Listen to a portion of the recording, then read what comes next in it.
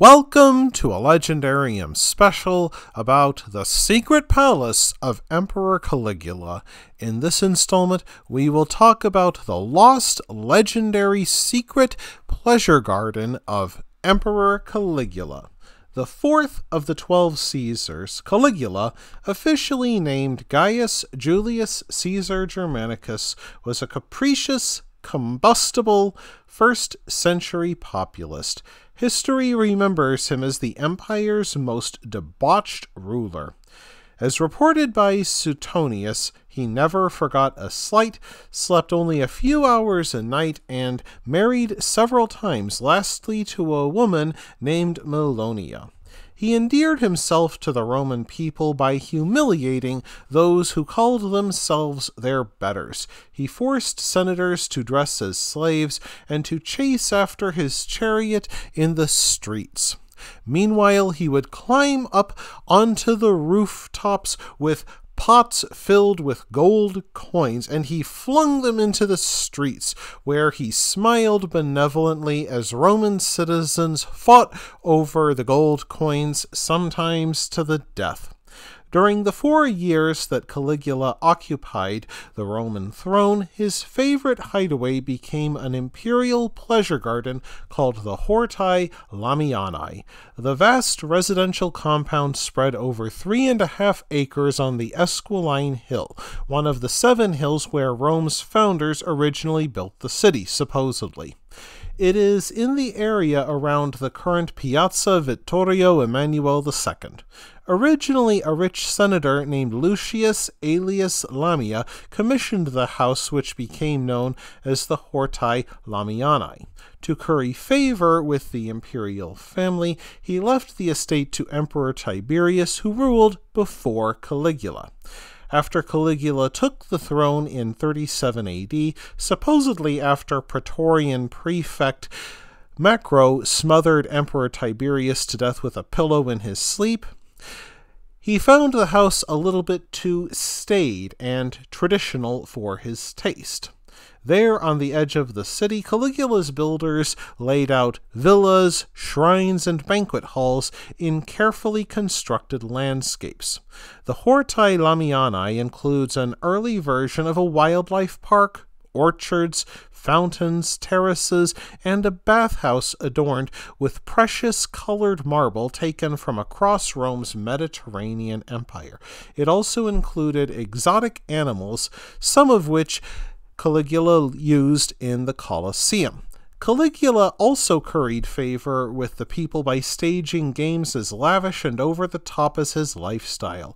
In the Colosseum, if he found a gladiator match went on too long for his taste, Caligula ordered the competitors to simply cut each other's throats so the crowd could see some blood.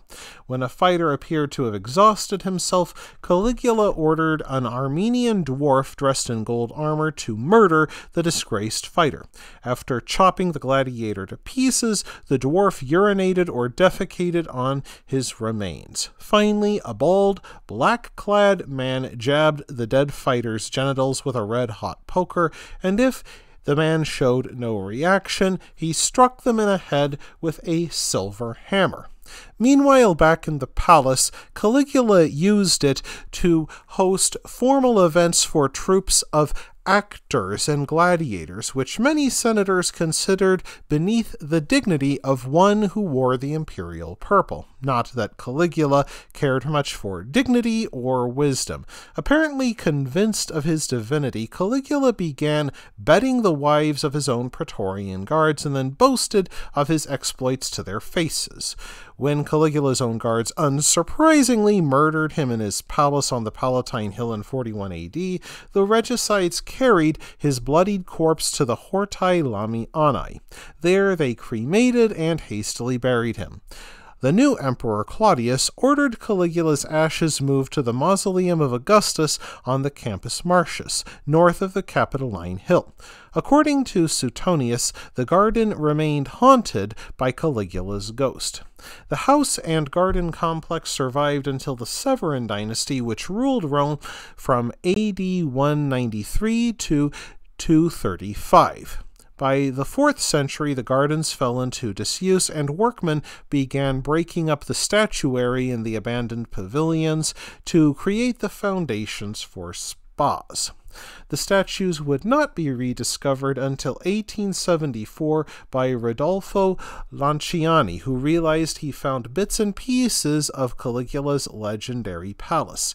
Yet most historians still believed that the Horti Lamiani itself remained lost to history. However, around the year 2005, construction workers laboring on an office building happened across the remains of alabaster floors. Years of excavation followed until the spring of 2021 when Italy's Ministry of Tourism opened the Nymphaeum Museum of Piazza Vittorio, an underground gallery that showcases a section of the imperial garden unearthed during the earlier excavations. The dig, carried out beneath a 19th century apartment complex, produced gems, coins, ceramics, jewelry, pottery, and the seeds of plants like citron, apricot, and acacia imported from Asia for the pleasure of a Roman emperor. They also found the bones of peacocks, deer, lions, bears, and ostriches, who ran wild and free around the imperial grounds. A nearby museum showcases imperial grandeur like a marble staircase, capitals of colored marble and limestone, and an imperial guard's bronze brooch inset with gold and mother of pearl. And so a house that was built for the selfish pleasures of one man has become a center of education for all people. That wraps things up for this episode of the Legendarium. I hope you enjoyed it. If you did, press like. If you want to see more, press subscribe. And if you've got anything to say, let me know in the comments section. Thanks again for joining me, and I hope that you have a great rest of the day.